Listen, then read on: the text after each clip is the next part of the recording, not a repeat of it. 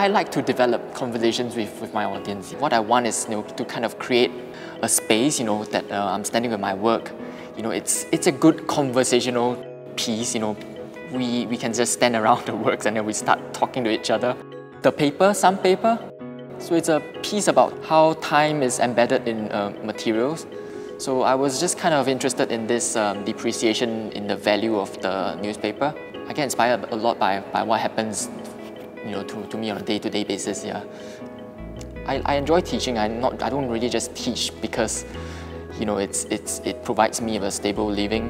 I teach because it's also in the genes because my three sisters are all teachers.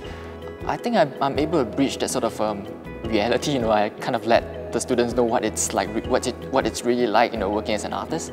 I mean, it's the you're, you're putting you're putting yourself out. You know, in the public. You know, you're exhibiting. You, you have to behave in a certain way. You know, um, like just, just as a form of self-preservation.